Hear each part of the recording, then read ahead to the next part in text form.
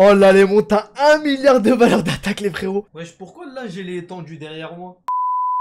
Yo les potes, la forme ou quoi? On se retrouve aujourd'hui pour une nouvelle vidéo sur Dokkan Battle et aujourd'hui les gars, vidéo incroyable. Vidéo très très très spéciale, vidéo de malade. aujourd'hui, je vais vous montrer tout simplement comment one-shot la punch machine, la technique secrète, the secret skills euh, for one-shot The euh, Punch Machine. Ça va être juste incroyable. Je vais vous montrer ici du coup comment la one shot et comment récupérer les DS. Donc euh, on va y aller ensemble. N'hésite pas frérot à mettre ton plus gros pouce bleu, ça ferait grave plaisir. Et accessoirement, apparemment mettre un pouce bleu sur la chaîne augmenterait tes chances de drop un LR de 100%. C'est pas moi qui l'a dit. Ah oui aussi petite parenthèse, n'hésitez pas à m'envoyer vos screens sur Discord euh, de votre équipe en train de one shot, donc le screen de, du one shot de la punch machine. Et aussi, euh, regardez bien tout au long de la vidéo parce qu'il y a des indices, il n'y a pas tout à la fin en fait, qui explique comment faire. Bon visionnage. Il y a aussi le lien du YouTube dans la description pour euh, remplir la barre qui est juste ici, frérot. voilà, comme ça, ça peut m'aider pour mon setup, etc. Puisque c'est chaud en ce moment avec le PC. Donc, ça vous fait des dons gratuitement et au fur et à mesure, ça permettrait de contribuer à m'aider pour la chaîne et puis ça fait grave plaisir. Merci à tous ceux qui contribuent. Mais avant ça, du coup, je vais vous dire mon avis sur la punch machine et à quoi ça sert tout simplement. Donc, on va avoir plusieurs levels au niveau de la time machine. Donc, euh, la time machine, la punch machine. On va en avoir un euh, pour récupérer des zéniths. Donc, jusqu'à 70 millions de zéniths si je me trompe pas. Euh, c'est ça, 70 millions de zéniths. On va en avoir un pour récupérer, donc celui-là de juste au-dessus des orbes. On va avoir des orbes en masse, en fait, on va avoir euh, en tout, ça, on va récupérer 6570 petites orbes, 3760 moyennes et 336 grandes. Donc c'est juste incroyable. C'est l'event juste ici. Et celui-là, donc le plus intéressant, on va récupérer les frérots. Plus de 60 DS. Exactement 62 DS. C'est juste énormément de DS. En fait, ça fait deux boss rush à peu près.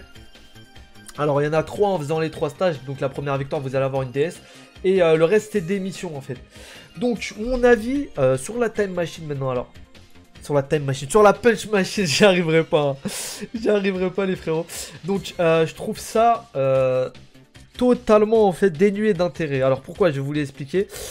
En fait, sur Dokkan, on attend clairement un mode fun entre guillemets à jouer. Donc on a eu le, le, Battle Road, le Battle Road qui est un mode qui est assez dur, qui est plus technique, etc. Qui peut être assez fun à jouer, voilà. On a eu le Battlefield qui est un peu différent, il est plus simple, mais il est assez cool. Là en fait, cet event là, il sert simplement à taper fort en fait. Vous avez simplement avoir un perso, vous allez euh, vouloir taper le plus fort possible. Donc je vois pas trop l'intérêt en fait, à part les... On sait tous que, euh, mis à part la technique que je vais vous montrer là, Go, il n'y a que Gohan LR en fait qui peut le faire. Il n'y a que Gohan LR qui peut le faire avec euh, je ne sais combien de doublons, je crois deux doublons minimum. Euh, Goku et Freezer LR, mais euh, c'est vraiment très compliqué avec. Faut vraiment avoir le timing parfait et le changement de la rotation parfaite et le changement de boule de ki parfait. Et pour ce qui est du troisième, je sais plus trop c'est qui, mais en gros, faut vraiment avoir certaines unités. Genre, et c'est des unités qui sont plutôt rares en plus. Donc c'est un truc qui est vraiment pas simple. Et en plus de ça, les rotations euh, sont, euh, sont programmées à la base. Du coup, c'est aléatoire en fait les rotations. On, doit ramener en fait des changeurs de ki. Donc le principe en fait, ça va être de Nyuk. Et euh, c'est quoi Nyuk en fait? C'est quand tout simplement vous allez ramener un leader qui donne plus 33% de boost pour un ki donné d'un type. Par exemple, le Goku SCJ Blue va donner 33% d'attaque par sphère de ki tech récupérée pour les personnages de type tech. Donc euh, ça va se démultiplier et ça va juste faire des dégâts incroyables Mais pour ça, bien sûr, il faut ramener des changeurs de ki parce qu'on n'a pas le droit aux items. Donc dans cet event, vous allez ramener des changeurs de ki pour transformer un maximum euh, de ki sur le plateau pour partir en spike les LR, en spike team et euh, infliger le maximum de dégâts possible. Bien sûr, les persos qui ont un boost d'attaque en prenant en compte les sphères de ki récupérées sont les plus viables en fait. On sait que Gohan a le boost le plus... Euh, un des plus importants du 18%. Bon, il y a des persos qui ont 20%. Notamment Goku Genki Dama si je me trompe pas, mais euh, ce ne sont pas des LR, ils n'ont pas le multiplicateur de LR, et ils ne vont pas jusqu'à l'aspect 20, ils n'ont pas l'attaque des LR, donc euh, c'est vraiment, c'est pour ça que Gohan LR est vraiment très spécial, même si on dit souvent que c'est un des pires LR aujourd'hui parce qu'il tape pas, parce que il se prend des coups en fait, il se prend carrément très très cher parce qu'il n'a aucun boost de défense, c'est vrai qu'il tape vraiment très très fort et c'est un des seuls persos avec qui on peut faire ça. Donc, euh, pour en revenir au sujet, je limitant en fait cet event à quelques unités, je trouve ça assez, euh, assez moyen en fait, enfin même pas intéressant du tout. J'aurais préféré un event où par exemple il nous, euh, il nous bloque tous les deux Fest et on doit taper euh, une certaine valeur mais avec des autres persos en fait. Tout simplement on fait des combinaisons de persos, des trucs sympas à faire mais pas genre trois combinaisons qui marchent ou quatre en fait. Parce que là, si t'as pas un des trois persos qu'il faut euh, pour Nuke, ou 4, je sais pas exactement, hein, j'ai pas, pas tout regardé, mais n'hésitez pas à me le dire dans les commentaires. Euh, bah, tout simplement, tu peux pas en fait. Tu peux pas. C'est juste. Il y a en fait. Les gens ils disent faut réfléchir, mais il a rien à réfléchir. Les gens ils vont juste aller sur Google, ils vont regarder ce qui marche. Euh, il n'y a pas 50 000 combinaisons qui marchent. Hein. Ils, vont la, ils vont la faire, et puis voilà, ils vont partir avec. S'ils ont pas les persos, ils pourront pas le faire. Tout simplement. Si vous avez pas les doublons, c'est mort de chez mort déjà. Voilà, il suffit pas d'avoir le LR. si vous n'avez pas de doublon, c'est mort. Si vous n'avez pas la bonne rotation, c'est mort aussi. Euh, si votre Gohan il tombe en 7ème position, c'est mort aussi. Enfin, il y a énormément de critères à prendre en compte et c'est vraiment de la full chance. Donc je trouve ce mode de jeu pas intéressant. Néanmoins, les récompenses sont très intéressantes, comme j'ai dit. Euh, c'est vraiment super d'avoir des DS, des Zéniths et euh, des orbes. C'est toujours bon à prendre. Mais la façon de les obtenir n'est pas terrible. En fait, on va avoir deux essais par jour. Comme je le disais, c'est le Gohan, il tombe en 7ème position. Si le perso avec lequel vous devez taper tombe en 7ème position, bah c'est mort. Si euh, première position, vous avez que des changeurs de ki, vous allez transformer tout plateau. Et forcément, euh, il y a un changeur de ki qui va devoir toucher les bouts de ki, donc toutes les prendre.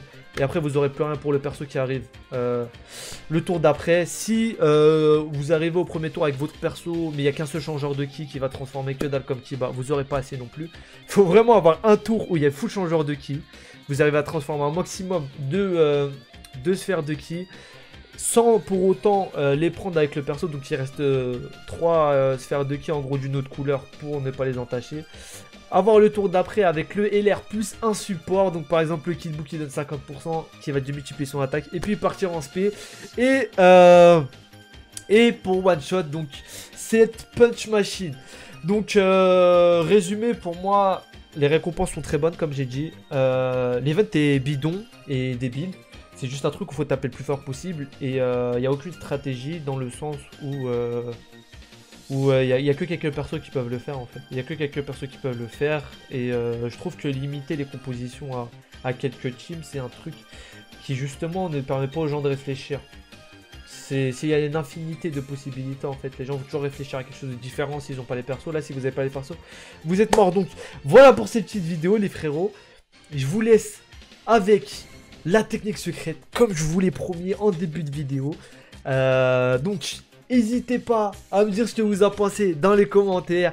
Si la vidéo vous avez sourire, si la vidéo vous avez aimé, si vous avez drop un LR juste après en signant la vidéo, tout ça, tout ça. bon, je vous laisse avec ce que vous attendez le plus. N'hésitez pas à vous abonner et à lâcher les petits pouces bleus. A tout de suite. Donc, première chose, il faut prendre le Yamcha Tech. Donc le Yamcha Tech euh, de l'event Poisson d'avril de Yamcha. Euh, éveillé et à 100% du coup là on l'a justifié donc là je vous montre sur la version Jap mais ça marche pareil sur les deux versions donc il est à 100% il est très important vous allez prendre un euh, un leader de votre côté 120% donc moi j'ai pris le Goku CJ3 Tech vous pouvez prendre le Goku multiforme ça reviendra au même en fait et surtout surtout surtout un ami leader vous prenez le Goku Genki Dama donc euh, le Goku des 1000 jours ça, ça va être très important. Donc, il n'y a pas besoin que ça soit vous qui l'ait. Donc, vous n'avez pas besoin d'avoir un compte très ancien. Vous allez le prendre un ami. Donc, vous en cherchez un, voilà. Et vous allez choper. Donc, et en plus de ça, donc, entre le Goku Genki Dama, vous allez prendre ce placement exactement. En fait, vous allez prendre entre le Goku Dama et le Yamcha un espace entre les deux. Donc, pour ait un Saibaman. Vous connaissez la petite histoire euh, dans Dragon Ball Z quand Yamcha s'est fait one shot avec les Saibaman. Je pense un petit clin d'œil euh, à ce niveau-là.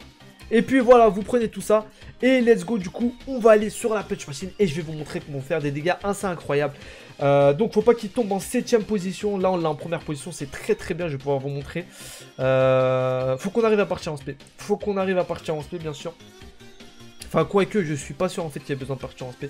Donc, vous voyez la valeur d'attaque de malade qu'il a. On a du 33 330 millions de valeur d'attaque, c'est juste n'importe quoi les frérots. On va partir en SP en prenant tous les kills. On va bien sûr euh, viser le, euh, la punch machine pardon, de type AJ. Euh, hop, le Goku SCJ4, on en a rien à faire. Et voilà, on va voir, il va monter à combien du coup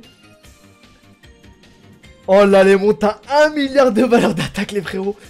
Et la punch machine qui tombe, la punch machine qui s'est fait détruire par le Yamcha, la puissance cachée de Yamcha. Donc vous voyez, on vient euh, tout simplement de one shot en fait la la la punch machine. J'ai time machine dans la tête à chaque fois avec trop accélère. C'est juste incroyable comme vous l'avez vu. Euh, technique qui fonctionne sur les deux versions. Voilà, c'est juste un truc de fou. N'hésitez pas à tester, à me dire vos retours en commentaire. Voilà, n'hésite pas à lâcher ton petit pouce bleu frérot et à t'abonner, ça ferait grave de chez grave plaisir.